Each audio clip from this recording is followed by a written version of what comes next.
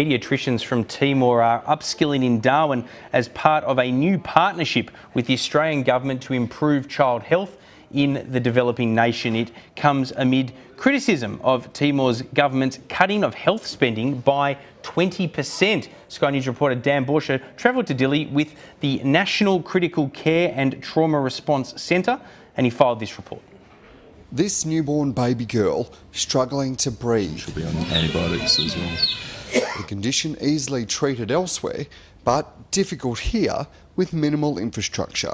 There's a, a, an enormous amount of unmet needs in Timor uh, that we can't uh, deal with. We have a major challenge to train paediatricians to work in this hospital and also to work in district hospitals. It's among a litany of challenges. It is the poorest country outside of Africa and about the ninth poorest country in the uh, poverty index. With some signs of improvement. Timor has made enormous progress in terms of some of the outcomes, such as infant mortality and uh, uh, child mortality. Um, but it does take time.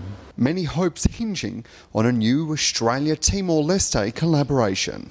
Paediatricians uh, in Timor Leste are few, and there is a really great opportunity through the Royal Australasian College of Surgeons program to train more paediatricians for the country.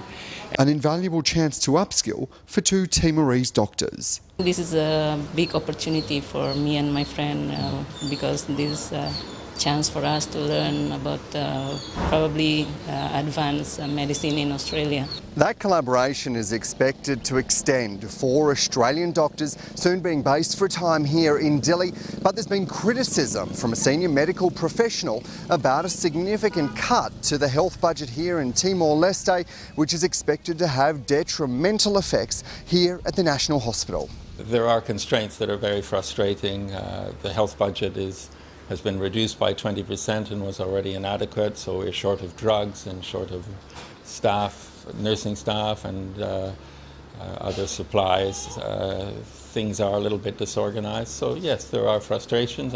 Dan Bourchier, Sky News, Dili.